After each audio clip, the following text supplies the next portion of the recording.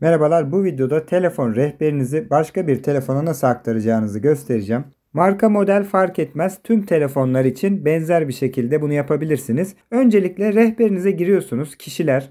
Kişileri açıyoruz. Şimdi iki farklı yerden nasıl yapacağınızı göstereceğim. İlkine bakalım. Burada yapmanız gereken dışa aktar diye bir seçeneği bulmak. Sizin modeliniz, markanız farklı olabilir. Birazcık karıştırarak bulabilirsiniz. Burada önce ayarları bulmaya çalışın. Seçeneklerden girebilirsiniz. Mesela benim telefonumda sol üstteki 3 çizgiye basıyorum. Bakın burada kişileri yönet var. Buna girdim. Burada kişileri içe veya dışa aktarın diyor. Siz de buna benzer bir seçeneği bulmanız gerekiyor.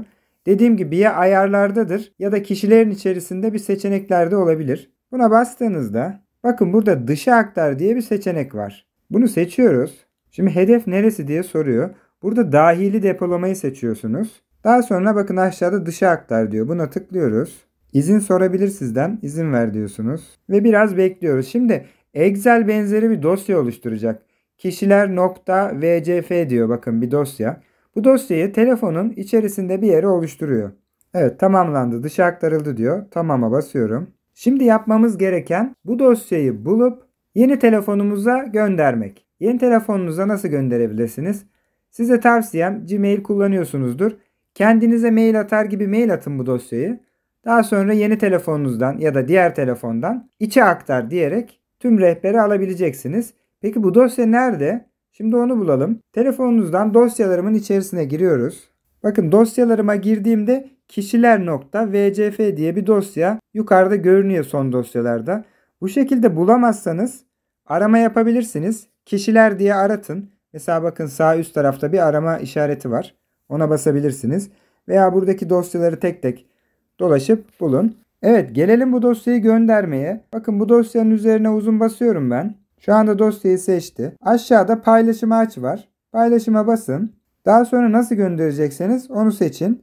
Dediğim gibi kendinize mail atabilirsiniz. Veya başka bir birine gönderiyorsanız WhatsApp'tan da bu listeye gönderebilirsiniz. Şimdi hemen ikinci yönteme de bakalım. Bu biraz size karışık geldiyse belki onu daha kolay yaparsınız. Şimdi en başa döndüm. Yine rehberimize geldik. Rehbere girdik. Rehberdeki tüm numaraları seçiyoruz. Hepsini seç yapıyoruz. Rehberdeki bütün kayıtları seçtim.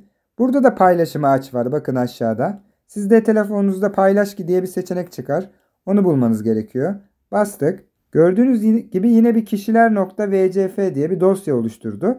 Bundan sonra ya, ne yapıyoruz? Yine mail atabiliriz kendimize veya WhatsApp'tan gönderebilirsiniz. Bu şekilde tüm rehberdeki kayıtları farklı bir telefona gönderebiliyoruz.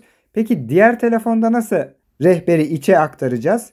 Hemen ona bakalım. Yine diğer telefonun rehberine giriyorsunuz kişiler bölümüne. Orada ayarlarda, seçeneklerde içe aktar diye bir seçeneği bulmanız gerekiyor. Benim telefonumda kişileri yönet var. Yine oradan girdim. Buradan kişileri içe veya dışa aktarına giriyorum. Buradan içeri aktarı seçtim. Bakın nereden içe aktaracağınızı soruyor. Telefon veya cloud diyor. Yani cloud bulut. İnternete yedeklediyseniz oradan almanız demek oluyor. Bunu seçelim. Tek seçenek var zaten. Bundan sonra bu kişiler.vcf dosyasını nereye aldıysanız yeni telefonda o dosyayı bulmanız gerekiyor.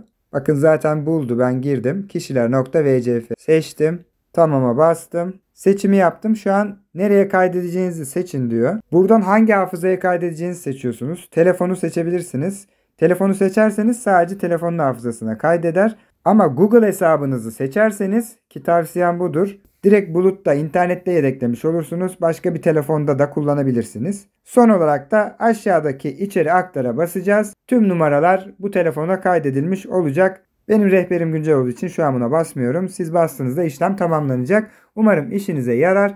Beğenmeyi ve kanala abone olmayı unutmayın. Hoşçakalın.